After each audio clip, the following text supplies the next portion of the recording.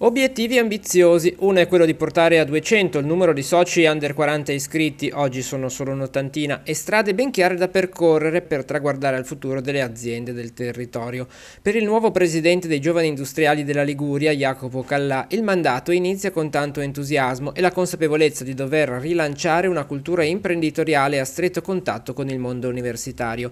Tra i temi da seguire da vicino, senza dubbio, quello dello sviluppo dell'intelligenza artificiale. L'intelligenza artificiale fa parte, mh, forse è proprio il cuore del mio programma di presidenza per questi anni, eh, perché? perché? penso che sia una tecnologia eh, dirompente, assolutamente disruptive come dicono gli americani, quindi che eh, arriva e rimane, non è una tecnologia passeggera, questa cosa qua rimarrà nel tempo, quindi le aziende dovranno necessariamente ehm, come dire, iniziare a lavorare nell'ottica che l'intelligenza artificiale deve entrare al loro interno e le procedure, le persone dovranno essere adeguatamente formate. Tra gli obiettivi delineati dal Presidente dei Giovani Industriali Liguri c'è il rafforzamento dei rapporti di collaborazione con l'università. La formazione è essenziale per indirizzare i giovani verso il mondo del lavoro e oggi più che mai diventa essenziale far combaciare le esigenze delle aziende con i percorsi attivati nelle facoltà.